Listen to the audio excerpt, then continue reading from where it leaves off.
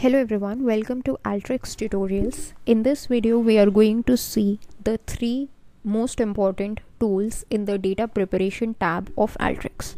The first tool that we are going to see is the unique tool. As the name suggests, unique is used to distinguish that whether a data record is unique or if it is duplicate by grouping on one or more specified fields then uh, it sorts those fields so if you want some of the fields to be unique then you can simply check it using this unique tool that whether the particular field or particular column is actually containing unique values or not. So how can we use it? Let's just get this tool. Uh, just like the filter tool we have used the unique tool also has three anchors. One is the anchor where it gets the data. The next two anchors are the unique and the duplicate anchors. As you can see the u and the d so it basically shows you that uh, which of the values are unique and which of them are not. Okay. Now this is the configuration panel from where you can just select the values. Like i would select the customer name. I want to check that if the customer is returning to me or not. So if i just click on run then okay. I'm getting uh, some of the unique values so there are 409 records where the customer name is unique. So there are 409 unique customers. I'm also getting duplicates. That means the customers we have are the returning customers. And now all of these values are grouped together as a customer name. Like first you can see aaron bergman. So the customer uh, whatever purchases the customer has made is being grouped together by his name. Then by the uh, second customer third customer and so on okay? So these are the unique customers. The total of 409 customers are there and they're returning to me again and again to purchase a total of a 10000 uh, record items okay? So this is what the unique tool helps us to understand about the data. Now uh, you have applied it on one field but if you want you can apply it on multiple fields. Like for the category also i want to apply. Then click on run. Now what will happen is uh, we would be getting the unique values for uh, the combination of both right? So now the in the unique value over here the total of 1136 records have been displayed. The customer name uh, if they have purchased from each of these categories right? So in the category there are these three categories furniture office supplies and technology. And the customer name as you can see is same for the three and the remaining are the duplicates which means the customer has made another purchase in the same category of the items. So this is the usage of the unique tool. Okay. Now let's move on to the next tool that is the imputation tool. Now what is the imputation tool? Imputation tool is used to replace a specified value uh, within one or more numeric data fields with another specified value. So basically it's used that if your data is inconsistent and contains some of the null values then what you can do is actually clean the data set. So you can replace the null values with either the average of the values of that particular column or um, basically with any value that you want. Okay so let's just get the imputation tool to get a better look at how it works over here so here uh, you would get the fields which you want to impute. Now only the numeric fields would be there because that's uh, what we get for the imputation tool. Now what value you want to replace? If there are null values you can replace those null values. But if the null values are not present then you can use a user specified value.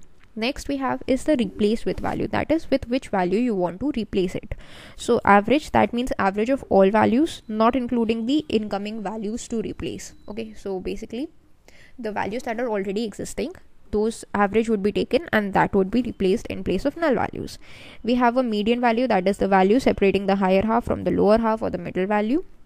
We have the mode value that uh, the value that appears most often. Or if you want to use a user specified value that you want to replace that you can do okay? So what i'm gonna do is actually just work for the um, quantity part over here since I know that my data set is clean, it has no null values. So I'm just going to check a user specified value of 7 and I'm going to specify another value for it that is going to be 8. Okay, that's a minor change that I'm just going to do. Of course, it would be undone because it has no meaning. It's just to show you the usage of this tool. Next, we have these two check boxes that is include imputed value in the indicator field. That means there would be a field that would be added to specify whether or not a value has been imputed or you want to output the imputed value in a separate field. That means the original field would be as it is but in a separate field the value would be outputted the imputed value. Okay. So first of all let's just select the first option and run it to see how it works. Here it would take few seconds and then let's just see if it has worked for the quantity. So now here we can see that um, it's 8 and the quantity indicator is showing 1 that means the change has been made over here. And on the rest of the values it's showing 0 again it's showing 1 that means the value was originally 7 but now it has been changed to 8 so this is how the imputed uh, value indicator field works. Next option is the output imputed values as a separate field. So we can just select this option and click on run. Now what would happen is uh, we would be getting a separate value in which the quantity value original field would be as it is. Like here it was 7 but in the new values the field would uh, new field the values would be 8 over here. From 7 it changed to 8 so this is how the imputation works. But uh, if the null values are present on your data or if you want to replace of any of the values numeric values only then you can use this imputation tool right. Uh, now last but not the least we have the multi-field binning tool. Now what is this tool? It is actually uh, used to replicate some of the functionality of the tile tool. Okay. Um, basically it allows the data to be binned on multiple fields. Uh, mainly it is used for the predictive tool set multi-field binning tool accepts only the numeric fields just like the imputation tool we have just seen uh, for the purpose of binning we can bin the fields either uh, in the form of the equal records or equal intervals. So what is a bin? Uh, if you just take a look at a histogram let's just bring up a histogram here. Right. So this is a histogram and as you can see it shows the salary and the number of the players. So 0 to 10 is actually an interval.